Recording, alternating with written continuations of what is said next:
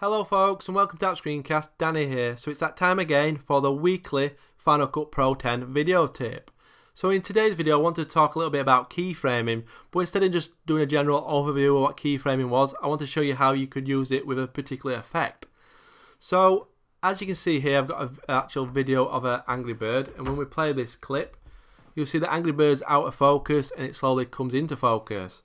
So if you watch a lot of maybe product product reviews on YouTube, such as I do them on my channel, for example, you'll notice a lot of people use DSLR cameras to video their products. And one of the things they'll do because DSLRs have got that manual control, they'll actually have something in focus and they'll bring it out of focus, or they'll have it out of focus and bring it into focus, just to give their videos a little bit more style and give them that a little bit more artistic kind of um, feel to them makes them a little bit more interesting than just having a static product there just doing nothing.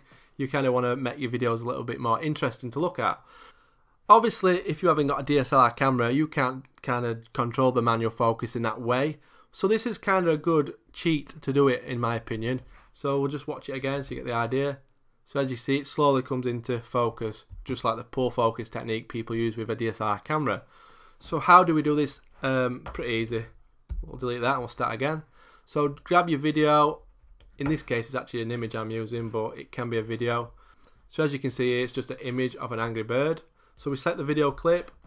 We go to effects. We go down to blur, and we grab the Gaussian blur, and we drag and drop it into the timeline, into the clip. So now when we play this, it's basically just the angry bird blurred out. So now we want to go to the first frame here, as you can see go up to the inspector, make sure you're on videos, or video, sorry, go down to effect, go down to Gaussian, so find the Gaussian effect you just added. It may be closed, if it is, just open it up so you can see all the controls.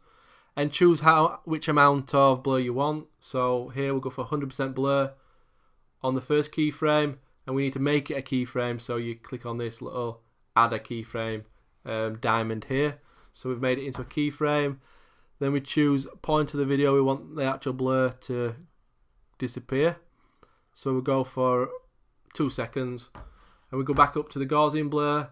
We make this a keyframe and we take the amount of blur down. So we'll go down to zero.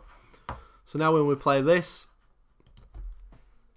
the Angry Bird's out of focus and it slowly comes in focus. So it's that kind of pull focus technique, or at least gives that um, impression of it.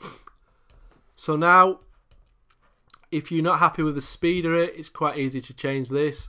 All you have to do is go back up to your keyframes and go on to the second keyframe. So this was around about the second keyframe. So you just use these arrows here. It allows us to jump between the two keyframes. So we go to the second keyframe, which was this one. And we basically turn that keyframe off. We go back to the timeline and choose a different point of the video we want the keyframe to be. So we'll go for one second this time, like so make that the keyframe and bring the amount of blur down. So now when we play it this time, you'll notice the blur uh, or the pull focus is much quicker. As you can see there, it's twice as quick. And obviously if you wanted to make it longer, you would obviously choose further along the timeline for the second keyframe. So that was just a quick tip how to add pull focus to your videos just using Final Cut Pro 10 so no need to use any camera tricks here it's just all done in the video editor but more importantly, we've kind of talked a little bit about keyframing. I've showed you how to use it in this effect, so you might be able to understand keyframing a little bit more. I would say keyframing is one of the more difficult things when it comes to video editing to get your head around if you're new to it. So at least now you'll have a bit better idea of what keyframing is and how you can use it in effects.